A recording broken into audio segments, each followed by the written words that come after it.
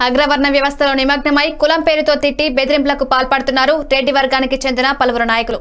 వివరాల్లోకి వెళ్తే నల్గొండ జిల్లా కట్టంగూరు మండలం పందెనపల్లి గ్రామ ఊరి చెరువును మాజీ సర్పంచ్ గోదాల వెంకట్రెడ్డి రేషన్ డీలర్ గోదాల ఉప్పల్ రెడ్డి గోదాల జ్యోతి కలిసి జేసీబీతో అక్రమంగా చెరువు మధ్యలో మట్టి రోడ్డు వేస్తున్నారు.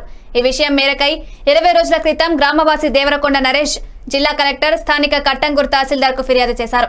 అనంతరం జిల్లా కలెక్టర్ జీవన్ పట్- పటేల్ స్థానిక తహసీల్దార్ హు- తహసీల్దార్ హుస్సేన్ కలిసి వెళ్ళి చూడగా చెరువు మధ్యలో రోడ్డు పోసి చుట్టూ కంచె తిప్పుతున్నారు. ఈ క్రమంలో జిల్లా కలెక్టర్ తహసీల్దార్ అడగగా స్థానిక తహసీల్దార్ హుస్సేన్ పై కూడా అగ్రవర్ణాలకు చెందిన వారు బెదిరింపులకు పాల్పడ్డారు. ఈ విషయం మేరకు బాధితులు దేవరకొండ నరేష్ గద్దపాటి దానయ్య అక్కినపల్లి యాదయ్య గద్దపాటి రమేష్లను చంపుతారని బెదిరించారని వారు ఆరోపిస్తున్నారు.